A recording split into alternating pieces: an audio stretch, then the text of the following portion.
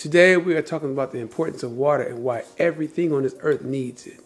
From bathing to drinking to living in it like sea life, rain, snow, condensation from the sun.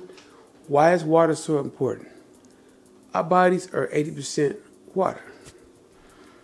When you are on a mission of just your daily life, hydration is the most important thing. A lot of people health problems start from not enough hydration. Do you understand the importance of hydration and why you have to drink water? So you can go along your normal day. If you go to the gym, you get into the sauna, you have to rehydrate.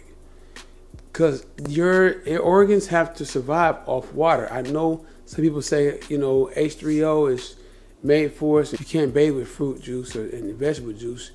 You can drink it for nourishment. You can drink it for healing. Everything in the world that needs to be clean is always cleaned by water, even if it's assisted by having soap. You have to use soap and detergent to wash. You always have to have water to make it clean. Water is the thing that everything on this earth needs. Why is it important to have this and why is it part of your healing? Well, anytime you take medication, herbs, your food, you have to chase it with water.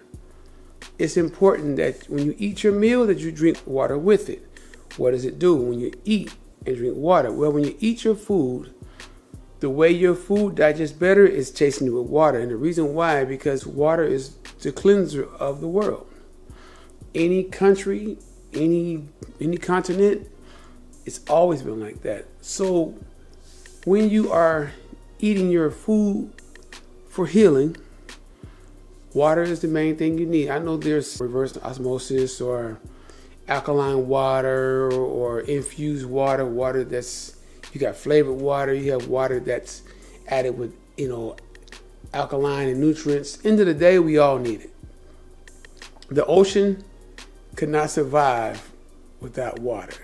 If there was no sun and there was no condensation, we would not be able to survive because the whole entire planet needs condensation. We need water to drink, to bathe, to do everything in our normal lives. So, how does this help your healing? Well, when you are in the process of healing, the main thing you want to always do, and this is important, you want to keep your colon clean and your organs hydrated. Why is that important? Because the organs need hydration so they can function properly, especially when you do stuff like when I drink beet juice. Even if you're drinking vegetable juice, you still have to drink the water to flush it through. You got to understand that a lot of times your fruit and your vegetable juices are detergents for the body. So when you juice or when you eat the vegetables and the fruit, it's, it's basically scrubs the colon. You need water for it to pass through. Water is the most important thing anywhere, no matter where you are on the planet. If you do neglect not having water in your daily routine, you will notice a lot of things would happen. If you don't bathe, you can get skin irritations, you can get rashes, you can get fungus. I mean, basically, you have to keep the skin clean. What a lot of people don't think about, they'll wash the outside of their body, but they don't really focus on washing the inside of the body. Why is it so important to have the outside of the body cleansed and the inside of the body cleansed? Because when you take a bath every day and you wash your skin, you keep your skin clean. You know, you, you put your oils and your lotions on, and, and it hydrates your skin because you're treating the skin. Well, a lot of people don't focus on the inside. You got to do the same thing to the inside. That's why I always say you are what you eat. What you put in your body, if you don't eat cleansing foods like vegetables and fruits, you know, a lot of times it's not cleaning the inside of the body. See, when you drink water and you eat, if you eat and you drink your water with your food, I know everybody has their own way of doing it. I personally eat and drink my water and my fluids together the reason why I do it together, personally, I feel better when I eat and drink at the same time. And the reason why, because when I'm eating my food and I'm chewing it, and I chase it with water or juice, what happens, it helps to go down smoother. And when it goes in as a combination, it starts softening it up. See, when you eat and don't drink and you eat all your food first, once all your food is done and your meal is done, all the food usually goes in the way it is. the difference of when you're eating and drinking at the same time, you're moisturizing your food that's going down, which helps the digestive system digest faster compared to eating a whole meal and then chasing it with water and having to go through your system and through your small and large intestines and then soften the food up. So it's all to me, it's my personal my personal experience, it's just my belief. I eat and drink at the same time so my food can be basically softened. At the end of the day, when I do have movements and I have bowel movements, I clean my colon out pretty much all day. Every meal should be cleansed as the next meal comes in. So when you eat your first meal and then you eat your second meal, that meal is supposed to move the old food out for the new food. That's why if you do eat three meals a day, which I don't do, every time you eat something, it should always flush out the old food. If you're drinking the adequate amount of water, you should be having very, very good bowel movements every day. You shouldn't have these hard, you know, hard to pass through constipation.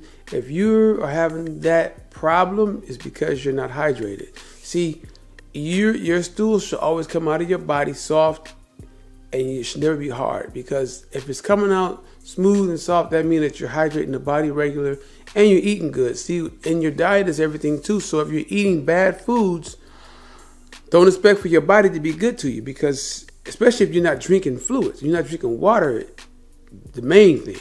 You could drink juices and too. If you could drink juices and all that too, but see, if you drink juice like vegetable juice and, and fruit juice and you don't drink water, a lot of times you will cramp, you'll get bloating, you'll get pains.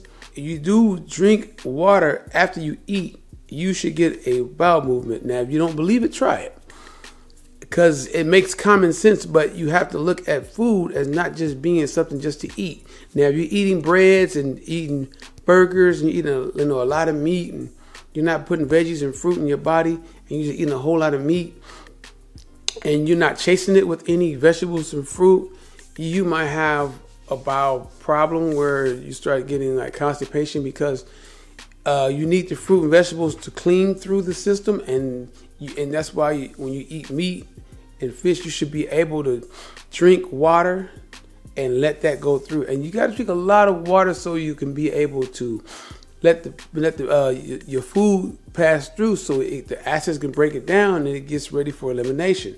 See, if you don't uh, prepare yourself for elimination, the whole thing about eating is is eating to nourish yourself.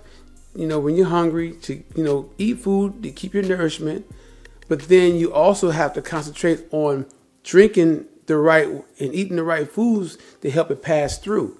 Even if you're a person that say, "Well, I only eat meat. I, I can't stand, you know, vegetables and fruit." Well, you have to have something to let it pass through. So it's better to drink a lot of water. And if you drink water, especially if you drink it aggressively, it will push out. Now, that's just something you have to do. Like like animals who are carnivores. You know, they don't eat fruit and vegetables because they'll get sick because they're carnivores.